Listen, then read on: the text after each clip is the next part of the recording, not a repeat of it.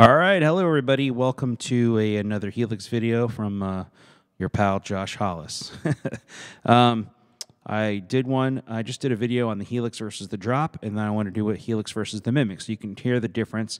Um, I have four patches set up. One is going to be a crunch with the Mimiq. One is going to be crunch using the double take um, in the Helix, which I think um, it sounds pretty good, but there's something there's something weird about it. It almost phases, like you'll hear it come out on the right hand side. That's the way I have this set up. Is I'm going right into a mixing board, and then right into the video camera, so you can really hear the the the two sides very well. And I think you'll hear the difference when I turn it. I'll turn the Mimiq off as well, so you can hear kind of a dry sound. Um, I have the Mimiq running through loop number three.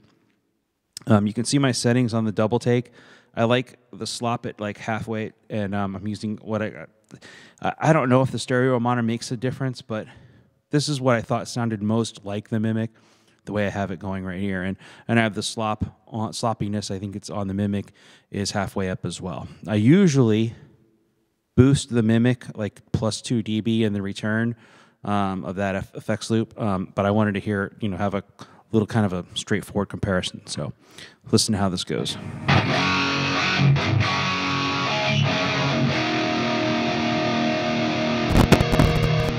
With the Mimiq off. I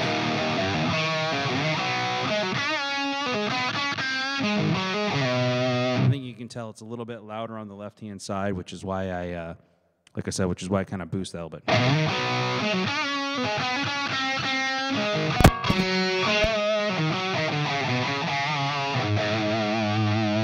Now, the crunch or the DT, the double take. So if you hear a little bit there, like it comes in on the right hand side and then it goes away. It almost feels to me like it's a, like it's gated or something weird. I, I just don't get it. Um, that's why I put the sensitivity down because I thought that was kind of messing with it, but it doesn't matter where I set the sensitivity.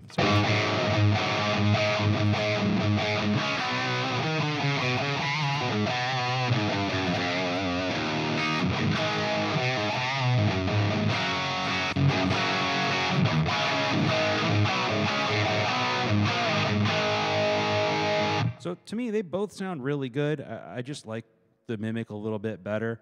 Um, you know, I I want to try it um, once I get my monitor set up at a live show, kind of see if I can hear a big difference because headphones and with speakers, it makes a huge difference, especially if I go out front because in front of me, I'm going to have the, the speaker spread out a little bit, but there's still like a combination of those, of those two. When you walk out in the audience and the those big speakers in, in front. We have um, the QSC K12s um, and, and, and, the bottoms. We have two, um, you know, what are they, like 3,000 watt uh, bass bottoms or whatever. They're huge, they weigh a ton.